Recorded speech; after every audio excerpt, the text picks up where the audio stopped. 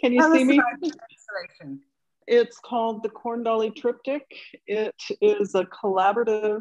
I worked with master thatchers and blacksmiths and carpenters all locally here from County Clare and County Galway. I worked with um, uh, Ling Liu, who is a PhD student here. And I was really lucky to be close to Ellen. Our practices intertwined with one another and, and we spurred each other on through the process. The Corn Dolly Triptych is, is three sculptures. They're approximately 10 to 12 feet tall. They're all made of water reed and straw, and each one represents a different time and place in the arc of the harvest ritual. And each one, as I was create, creating them, I challenged myself to learn new skills that and do new things with the mediums. Uh, so each one has a completely different feel and a completely different technique used that traditionally, um, well, it represents traditional um, craftsmanship with straw and reed. Great, thank you so much. Um, can you tell us how your experience at Burren College of Art has impacted your practice and what you see for the future?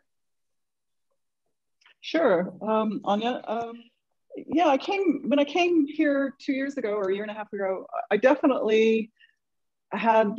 I knew that I had a disconnect with with my indigenous culture, and this opportunity here gave me um, and uh, connect uh, with my heritage, and um, gave me a language, gave me a way to communicate uh, with that. Uh, and I'm very grateful for that because it, it, was definitely missing for me prior to coming here. For the future, I'm, you know, I'm, I'm really excited about the future. I see, I see a shift in my practice more towards um, I'm excited about embracing that. I have no idea what they look like. Um, so I'm off on another journey. Letitia, Ruby is asking, could you talk about the symbolism and use of ritual in your work?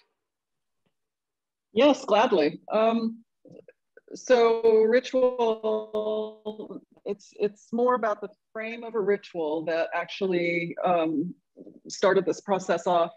Um, and it, it, became something bigger because even in the making, ritual became apparent, you know, with, with the ritual of making.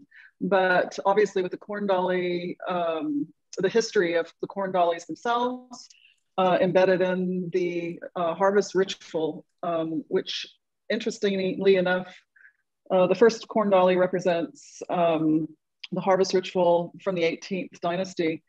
And it's from a, a hieroglyphic um, uh, hieroglyphics on a tomb.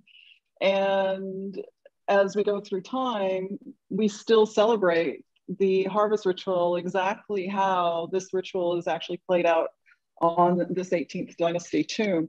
And it's not just about it being in, um, um, in Egypt, it's, it's played out you know, throughout the world. And I find I found that very fascinating. Um, as far as symbolism, yes, the first corn dolly just manifested itself in a very triangular design. And then as I moved into the Celtic corn dolly, you know, that, that has more of a pagan um, feel to it. It, it. it was all about circles. And Robot Maria um, corn dolly, which represents the future, became more square and more, more confined and harder um, lines, which represents, in my mind, you know, what we're dealing with um, at, at present.